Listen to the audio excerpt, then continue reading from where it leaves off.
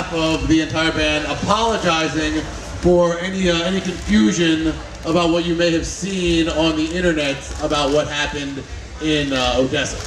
Ну, в первую очередь, от имени всей группы я хотел бы извиниться за те недопонимания, которые, возможно, у вас возникли в связи с тем, что вы видели э, на YouTube по поводу концерта в Одессе.